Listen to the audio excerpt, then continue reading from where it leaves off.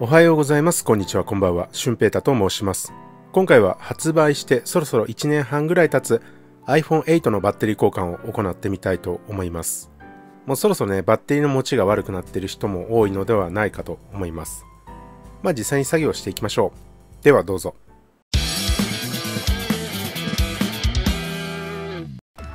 はいでは早速分解していきたいと思います相変わらずボトムネジはトルクスドライバーで開けていきます。2箇所ですね。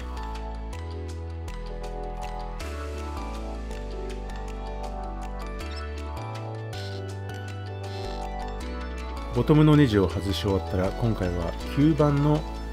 開封用の何て言うんですかね。オープナーですかね。こちらを使って開けていきたいと思います。だこれだいぶ前に使ってたやつなので全然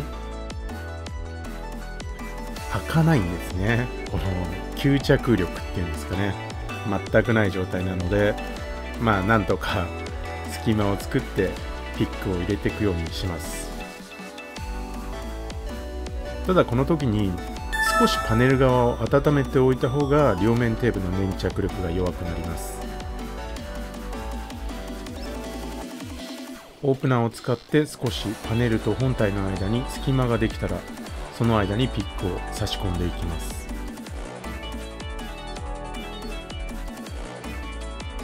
パネルとフレームの間に隙間ができたので、まあ、全体をピックで軽く開けていきます。ピックを入れていくことによって本体とパネル側の両面テープが剥がれていきます。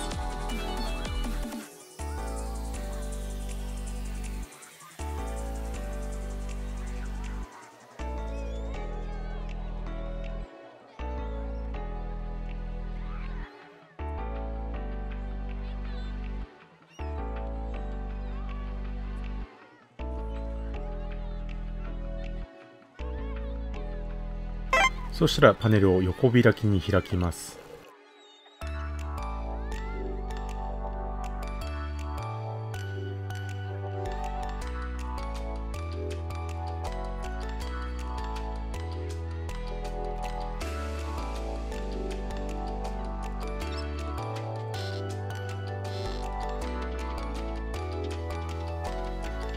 iPhone8 の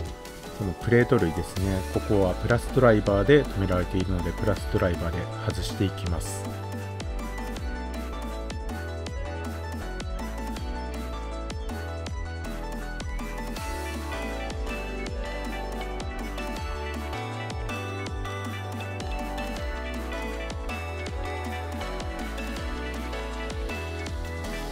上部のフロントカメラ側もプラスネジで止められているので3箇所外していきます。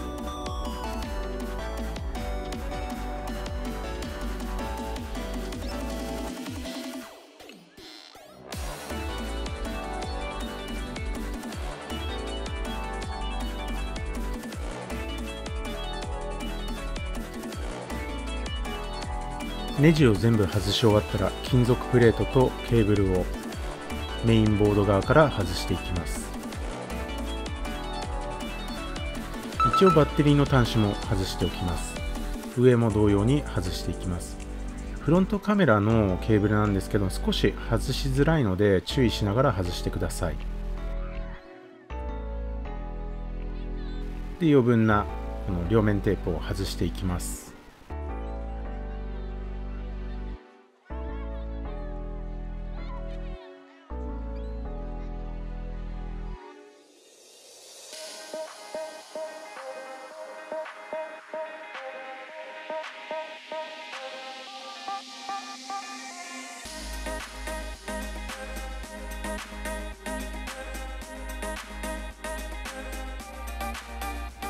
ではいよいよバッテリーを止めている両面テープを外していきます。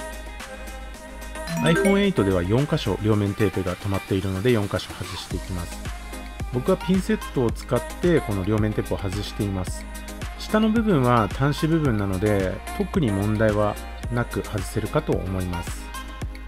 今回短いので、まあ、切れにくいとは思うんですが慎重に外していった方がいいです。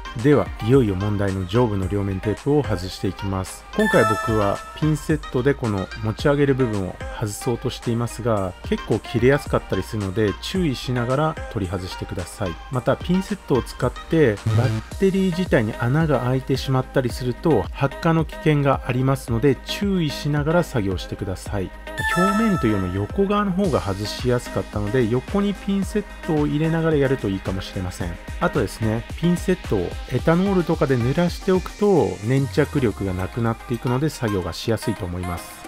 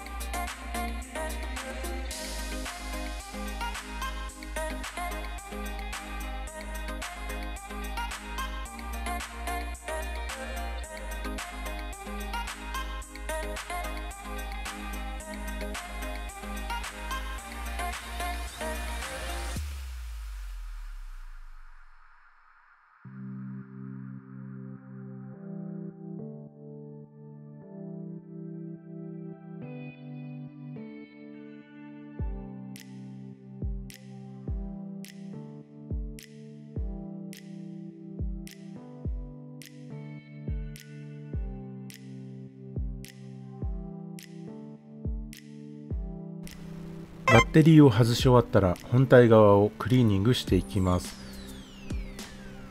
この両面テープを貼る部分に汚れが残っていたりするとうまくパネルと本体が接着されずにそこから水が入っていってしまったりするので注意しながら作業してください。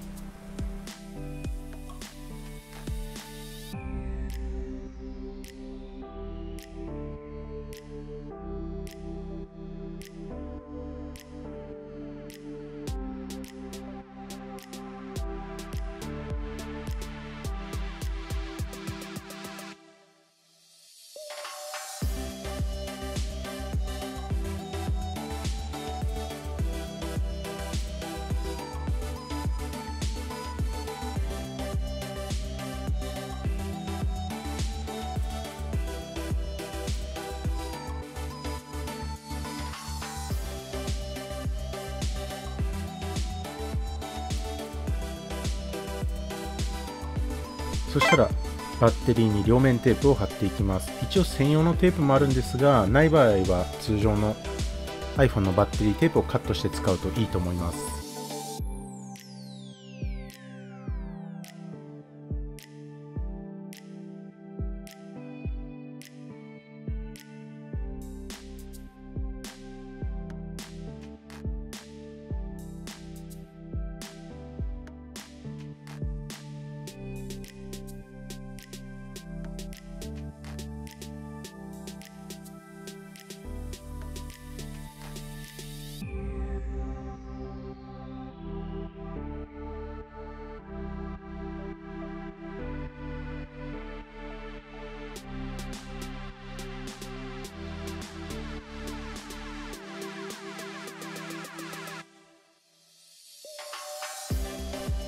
そしたらバッテリーを本体に取り付けていきます。この時僕はバッテリーの端子はつけないで置いています。そしてきれいにしておいた本体に両面テープを貼り付けていきます。まあ防水性とかが必要ない人はこの両面テープはつけなくてもいいと思いますがまあ、念のためつけておいた方が安心かなと思いますね。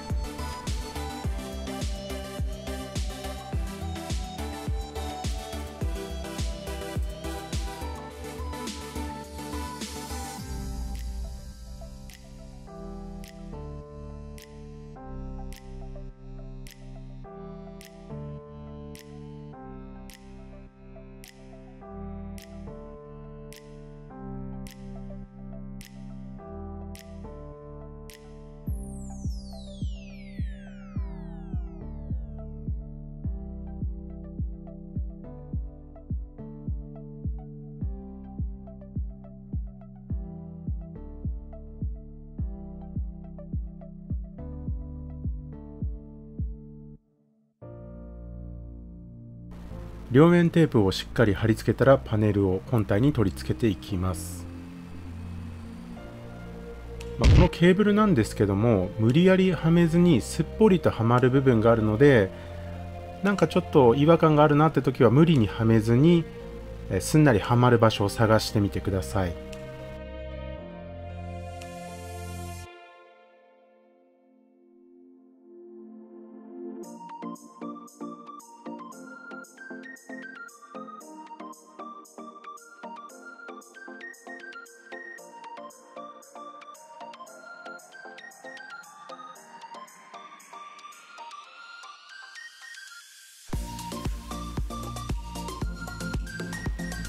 最初にカメラ側の金属プレートから戻していきます。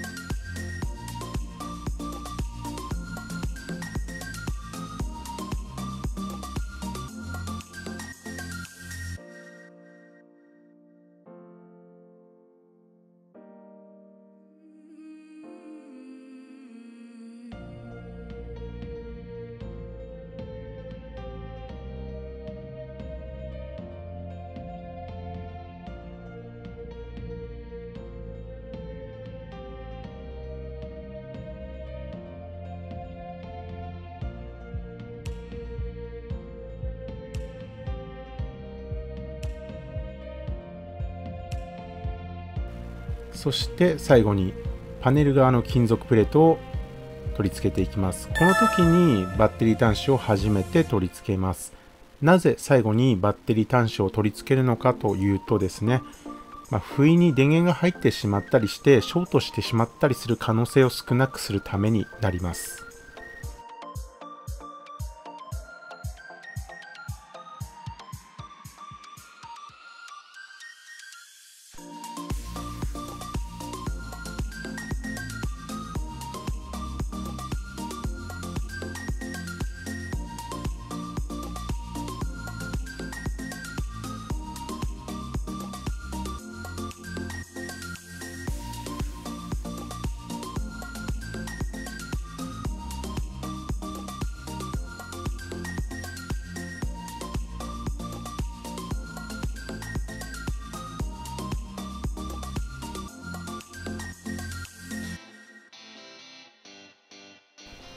最後にパネルと本体を少し浮かした状態で両面テープの保護シールを剥がしていきます。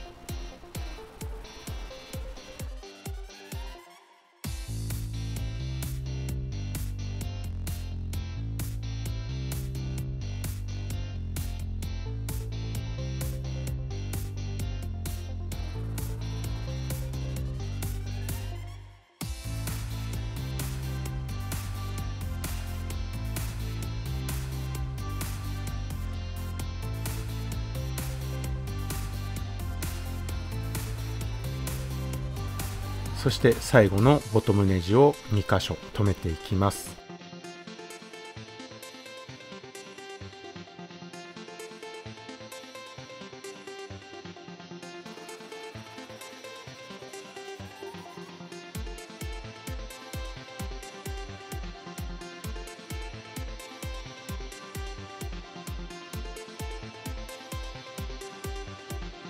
そして最後に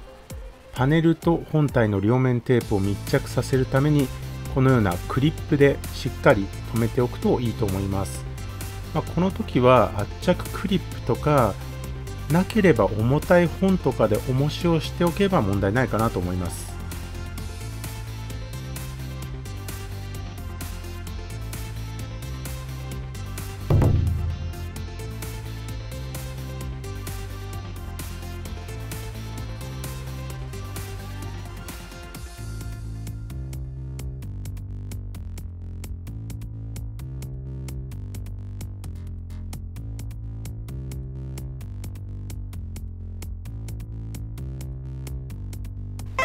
はい、では電源が入ることを確認して終わりになります問題なくリンゴマークが出ましたねこれで終了になりますはい。いかがでしたでしょうか？今回は iPhone8 のバッテリー交換を行ってみました。元々の耐水性を残す方向で作業してみたんですけども、バッテリーの両面テープを剥がす工程がやはり一番めんどくさかったです。従来の iPhone シリーズよりもバッテリーの両面テープ硬くなってましたね。